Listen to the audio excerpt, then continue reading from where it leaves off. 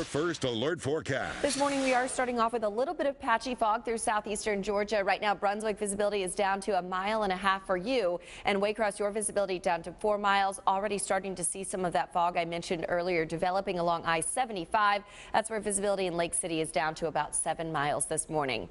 Out at the bus stop students are going to notice some muggy conditions. Temperatures very warm. We're in the upper 60s inland low to mid 70s along our coast. It will be a partly sunny start to the day and we'll stay dry throughout most of the day and most areas really not going to see much in the way of that rainfall, but we are going to see a few of those showers and storms developing far inland as we head towards the afternoon. Otherwise, as far as temperatures go, 70 through 7 o'clock, 76 by 9. We'll get up to 82 degrees by lunchtime with a high today up to 86. I'll show you exactly when and where I expect to see those few showers and storms for today coming up in your full first alert forecast. I'll have that in just 10 minutes. Your time right now is 441.